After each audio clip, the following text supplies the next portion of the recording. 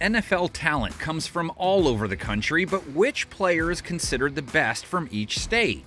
You've got fertile lands like Florida, California, and Texas where football prowess runs deep, but even states like South Dakota, Maine, Wyoming have produced some diamonds in the rough. Now, for some clarification, this isn't the best player born in each state. Instead, our criteria says the player must have spent the majority of his childhood in their respective state. For example, Gale Sayers. He was born in Wichita, Kansas, raised in Omaha, Nebraska, and that's where he'll be represented. Got it? Okay, without further ado, it's time to reveal the 50 best from coast to coast. Alabama, Terrell Owens. Young almost falls down, throws to the end zone. Owens! Owens caught it! He caught it! He caught it! He makes the winning! One of the greatest finishes in 49er history. While there's no shortage of elite players from the heart of Dixieland, Terrell Owens is the biggest game changer of them all. The Hall of Famer ranks third all time in career receiving yards and touchdowns. Alaska, Mark Schlereth. From a football hotbed to a frozen wilderness, our first two states were not created equal. But Alaska did produce three time Super Bowl champion Mark Schlereth. The guard captured his first Lombardi with Washington in 1991 and then went back to back with the Broncos in 97 and 98. He started 156 games and made Pro Bowl appearances at both stops in his career. Arkansas, Don Hutson the original receiving threat for one of the NFL's original franchises, dominating the league before the art of pass catching was even a thing. That guy right there, in my mind, probably changed the wide receiver position as much as anybody who's ever played. Hutson's career receiving touchdowns record wasn't broken until Steve Largent surpassed him in 1989. His success and impact on the game make him the clear pick for the state of Arkansas. Arizona, Randall McDaniel was one of the most feared and powerful linemen of the 90s. Don't believe it? Check this out. And they line up Randall McDaniel in the backfield as a fullback. And give it to Whoa. Allen behind McDaniel. Oh, my Lord. Watch McDaniel. There is Singletary. That is why McDaniel's in the backfield. There were only two seasons in which McDaniel didn't earn All Pro or Pro Bowl honors, his first and his last. The Hall of Famer started 222 games over his 14 year career. California, Tom Brady.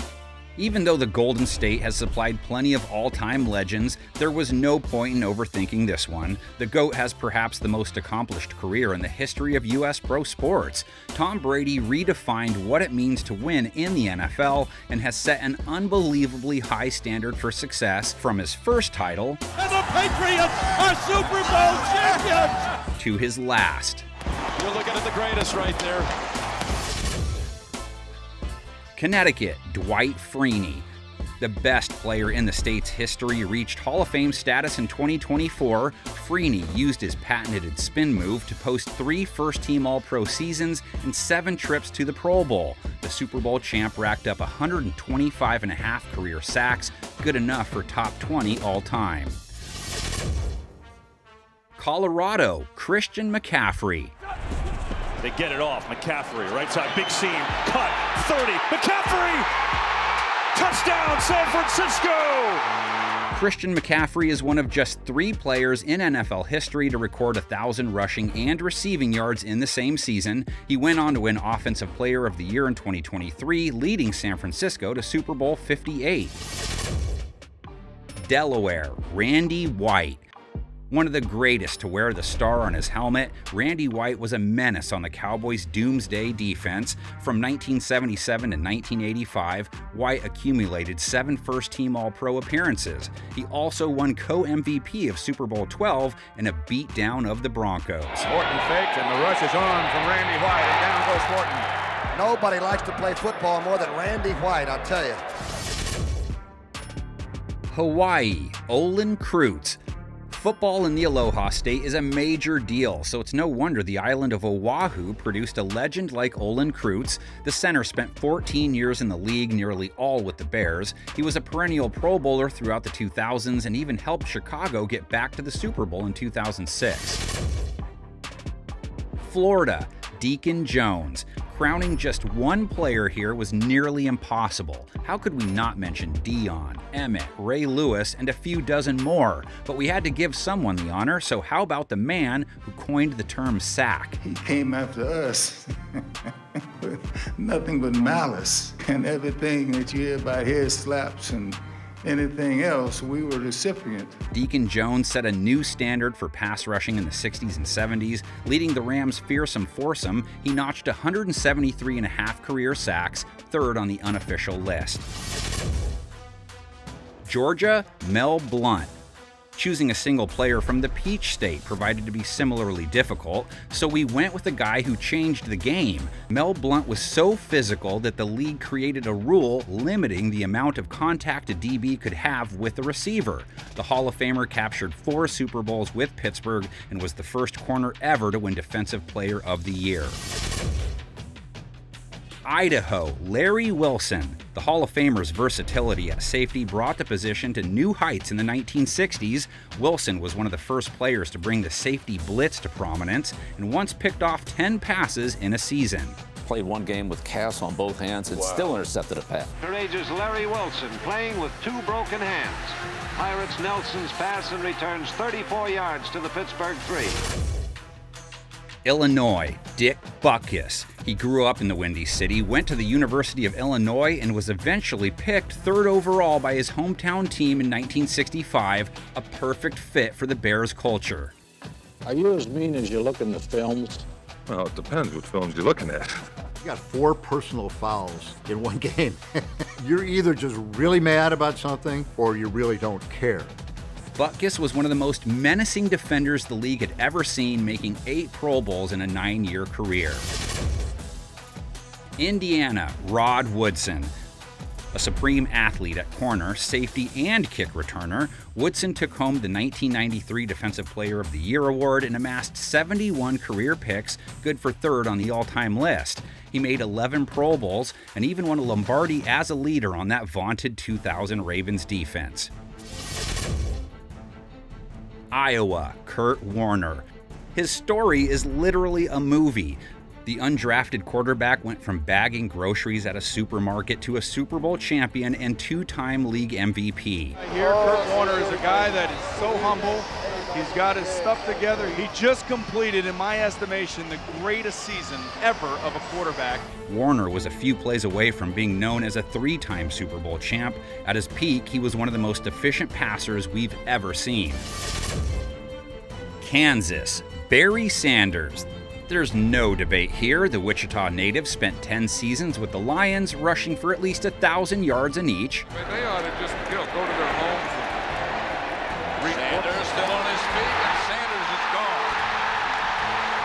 Some of those moves, there's only one guy in this game that makes, and you just saw that guy. Barry joined the 2K Club in 1997, winning NFL co MVP in the process. He led the league in rushing four times and was a Pro Bowler in every year he played.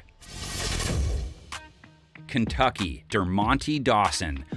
Born and raised in the Bluegrass State, he attended the University of Kentucky and was drafted by the Steelers in 1988. Dawson was a seven time Pro Bowler and the best center of the 90s. He helped lead Pittsburgh to seven playoff trips, including a berth to Super Bowl 30.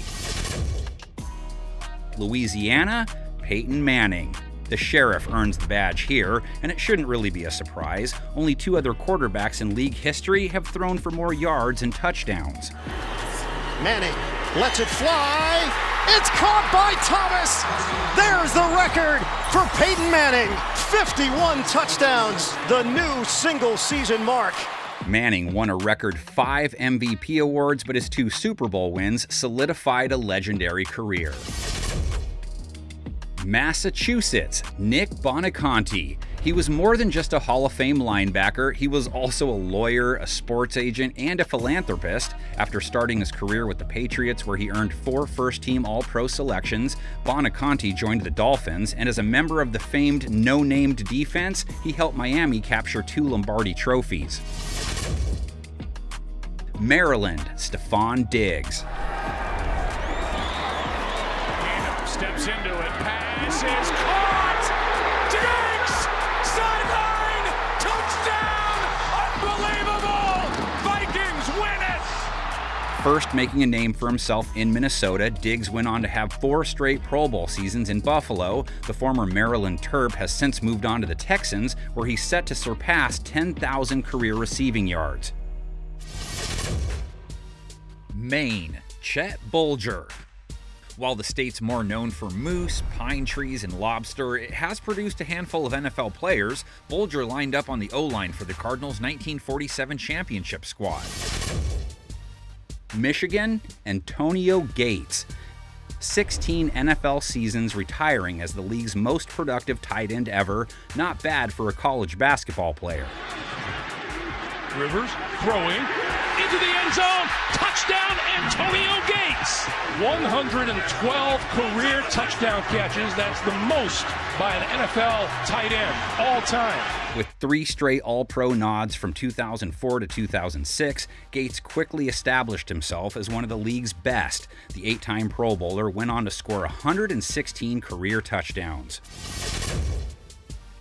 Minnesota, Larry Fitzgerald. He grew up as a ball boy for the Vikings, learning from Randy Moss and Cris Carter. It's no wonder Fitzgerald morphed into them once he got to the NFL.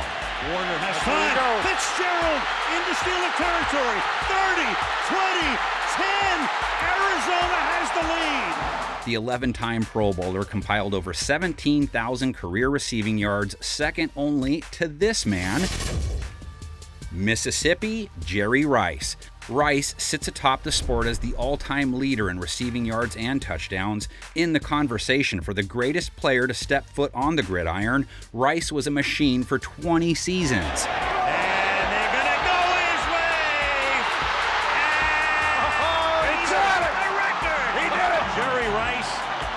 just unstoppable. He broke the NFL's all time touchdown record in 1994 and went on to play 10 more seasons. Think about that. Missouri, Roger Wehrli. They say he was the very first shutdown corner. Wehrli played his entire career in the Show Me State, from youth football all the way to the pros. He played 14 seasons for the St. Louis Cardinals, later earning a gold jacket. Montana, Pat Donovan. The four time Pro Bowl tackle was an anchor on the Cowboys O line in the 70s and 80s. Donovan helped protect Roger Staubach and paved the way for Tony Dorsett in Dallas' Super Bowl 12 victory. Nebraska, Gale Sayers. The Kansas Comet originated one state to the north. Sayers exploded onto the NFL scene in 1965, scoring 22 touchdowns with the Bears, a still standing rookie record. I loved watching him run. Like going to the theater, it was like watching ballet. All you other guys, you may be NFL players, but you're just you're just clowns. You're just highway cones for this guy to run around. He was an All Pro in each of his first five seasons and eventually made it to Canton on his first ballot. Nevada, Steven Jackson. Following in Marshall Faulk's footsteps is no easy task, but Sin City's own Steven Jackson didn't disappoint. With time ticking in the fourth quarter, this is Jackson breaking tackles, moving tacklers, and touchdown St. Louis. Look at the power inside. That's why you got to feed him. That's what you got him there for. Jackson rushed for 1,000 yards in eight straight seasons from 2005 to 2012. The bruising back ranks top 20 all time in rushing yards. New Hampshire, Greg Landry. The first quarterback taken in the 1968 draft, he spent most of his career with the Lions. Landry helped lead Detroit to the playoffs in 1970 and made a Pro Bowl the following season. He has the third most QB wins in team history. New Mexico, Brian Urlacher. He's another one of those homegrown talents playing collegiately for the Lobos. Urlacher made an immediate impact with Chicago, winning 2000 Defensive Rookie of the Year. This guy could be the Bears' middle linebacker for the next 12 to 15 years. Urlacher went on to be named All Pro four times, won Defensive Player of the Year in 2005, and an NFC title in 2006. New Jersey, Franco Harris. Bradshaw looking for somebody to throw to, fires it downfield. And there's a collision. Has got, it's caught out of the air. The ball is pulled in by Franco Harris. Harris is going for a touchdown for Pittsburgh. Holy moly. The 1972 Offensive Rookie of the Year was a big reason the Steelers captured four Lombardi trophies that decade. Harris compiled eight 1,000 yard rushing seasons and should be remembered as one of the best backs of his time. New York, Jim Brown. Another obvious choice here, the great Jim Brown began his football journey on Long Island before attending Syracuse. He took the NFL by storm in 1957, becoming the first and only rookie to win league MVP. Jimmy Brown again, all 228 pounds, bowling through the middle and thundering 68 yards for the fourth score. The three time MVP retired as perhaps the greatest player the sport had ever seen. Cleveland's 1964 NFL championship completed Brown's legendary resume. North Carolina, Bobby Bell. The ferocious linebacker was drafted by both the NFL's Vikings and the AFL's Chiefs in 1963. Bell took the only guaranteed contract offered and went on to alter the course of Kansas City football. Six All Pro selections, two AFL titles, and a win over those Vikings in Super Bowl IV. North Dakota, Pete Retzlaff. If you think you can't find studs in the 22nd round of the draft, then you're dead wrong. Pass catching extraordinaire Pete Retzlaff helped Philly win the 1960 NFL championship and racked up nearly 1,200 yards and 10 TDs in 1965. Ohio, Jack Lambert. He was an extremely intellectual linebacker, which I don't think was the association with him at the time, probably because he was toothless, and probably because he looked kind of like a madman. There's an abundance of talent from the birthplace of pro football, but we'll give the nod to one of the NFL's fiercest defenders. Lambert was the rock in the middle of the Steelers dynasty, winning Defensive Player of the Year in 1976. Oklahoma, Steve Largent. No one expected him to become the most prolific pass catcher in NFL history. The Tulsa native owned nearly every major receiving record when he retired in 1989. There it is. Touchdown Seahawks. That long pursuit of Don Hutson in the NFL is over. Largent's 100 touchdown catches still rank among the top 10 all time. Oregon, Troy Polamalu. The Hall of Famer spent his youth living in southwestern Oregon, then returned to his birthplace to play college ball for the Trojans. Polamalu was an eight time Pro Bowler, two time Super Bowl champ, and the 2010 Defensive Player of the Year. Palmer wants to throw it. He's back, throws it over the middle. Intercepted by Troy. He's at the 40, 35 30, 25 20, 15 10. He's hit and dives for the pylon. Touchdown. As soon as he comes up with the ball, he is thinking goal line and six. Pennsylvania, Joe Montana. A bevy of legends to choose from here, but we're going to go with Joe Cool. Montana's the first player ever to win three Super Bowl MVPs, and his Niners were the team of the 1980s. No moment was too big, as seen by his game winning drive in Super Bowl 23. Back to throw Montana. Stepped up, throws. And to watch this absolute surgeon on the football field and one of the all-time greats do his thing again, it's almost like poetry. Rhode Island, Jerry Philbin. The two time All Pro was one of the best pass rushers in AFL history and a big part of the Jets' heyday in the late 1960s. Philbin enjoyed 10 seasons as a pro, helping New York win Super Bowl III. South Carolina, Art Shell. He's among the best offensive tackles in NFL history and a two time Super Bowl champ. Shell spent 15 seasons with Oakland, making eight Pro Bowls in the process. The Hall of Famer went on to become Raiders head coach, making three playoff trips in the 90s. South Dakota, Adam Vinatieri. Adam Vinatieri, no time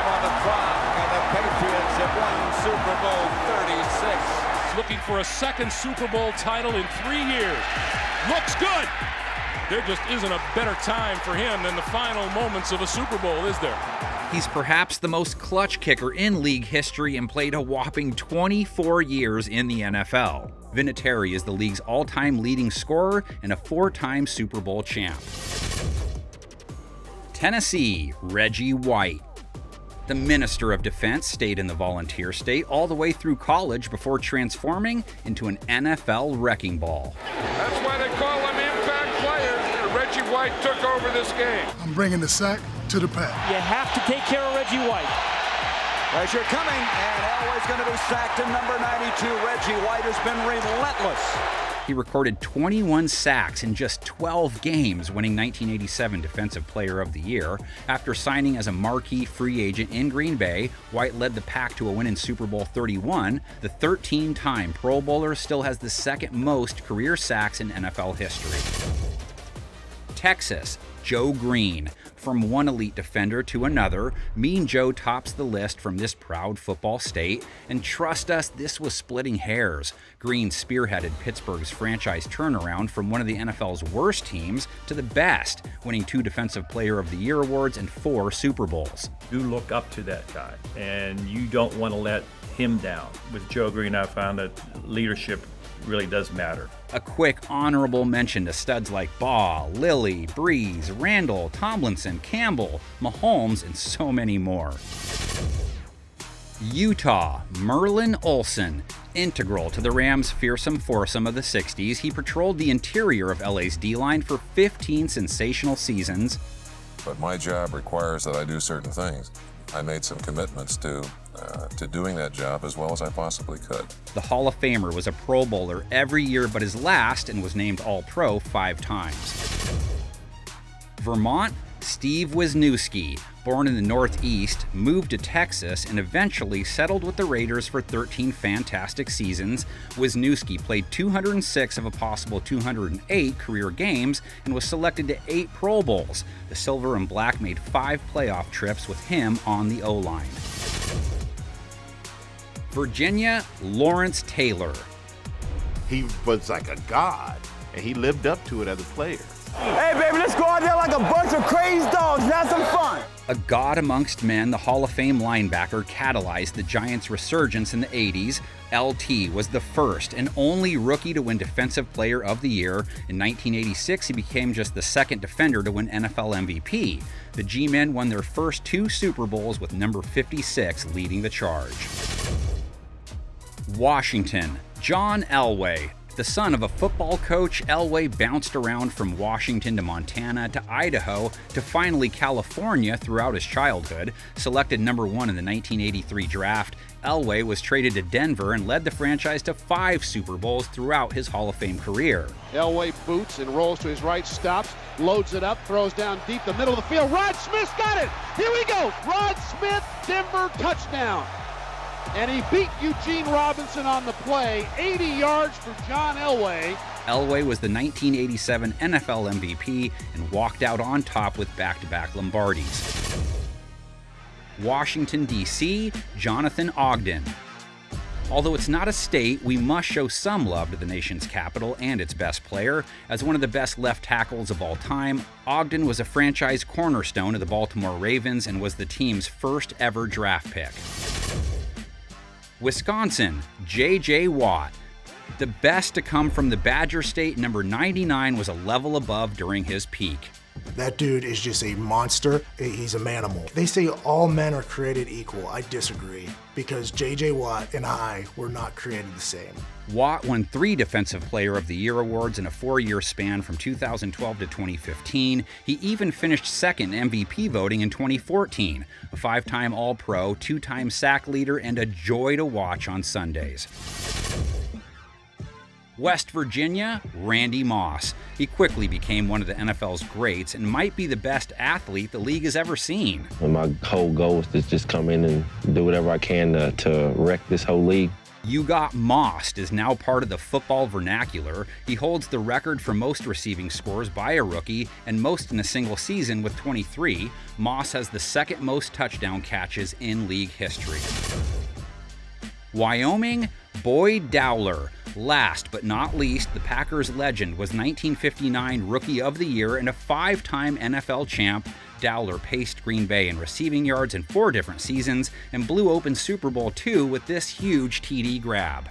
Fourth one over the middle of Boyd Dowler, who's all alone. He's at the 30, the 25, the 20. He crosses the 10 and goes into the end zone for a touchdown.